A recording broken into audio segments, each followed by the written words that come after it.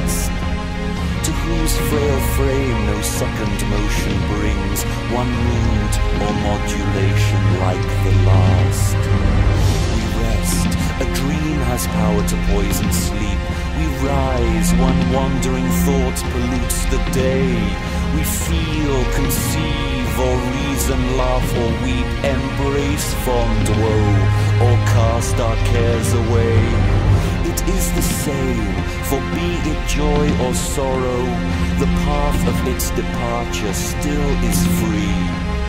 Man's yesterday may never be like his morrow, naught may endure but mutability.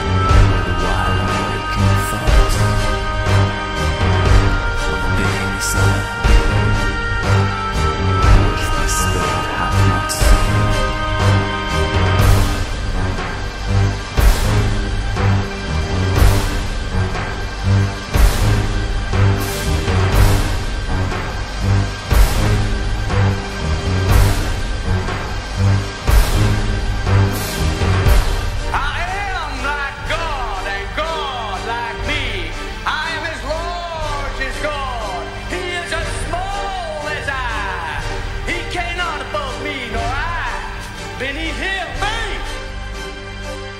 Had I let them pass me by, with a dreaming eye, let none of earth inherit that vision of my spirit.